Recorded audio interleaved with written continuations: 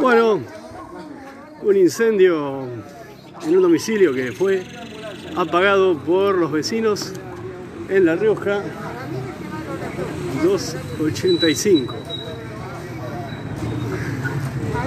Vengan por Máximo Gil, llegan a Plaza 5 de Agosto, doblan a la derecha. A ver, a ver, Mariano, Mariano, Mariano Lazarte. ¿Usted colaboró, Mariano, con apagar el incendio? Sí, sí, ya está, ya está controlado. Acá con el muchacho lo pudimos solucionar. Con el gatito Farías. Sí, sí, la verdad que Visiblemente descompuesto. Fue rápido. sí, sí, sí. ¿Qué era? Pues no sabemos si un lavarropa o un calefón. Eh, cansamos llegar justo porque estaba Sí. agarrando ya parte del techo. No del calefón. Bueno, ahí vienen los bomberos, Sí, sabe que es un desperfecto eléctrico. pero bueno, la situación ya está controlada por los vecinos. Hay un, dos bomberos que han venido por su cuenta, está la policía, están otros medios y va, va todo. Ahí está.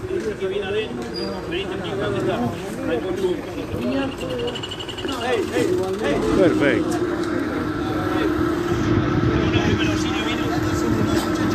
Está visualmente afectado una de las personas que colabora con las tareas de extinción del incendio.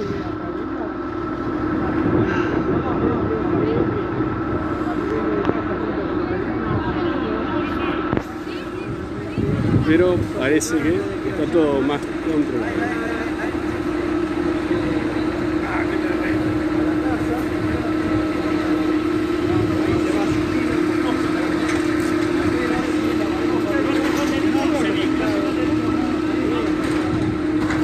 Bueno. ¿Cómo se llama la gente que vive aquí en el lugar? ¿Eh? No, está bien. Yo porque bueno, estaba acá, estaba hablando recién, comentándole. Usted no. Ah, es suya la casa. Ah, bueno, bien. Buenísimo. Bueno.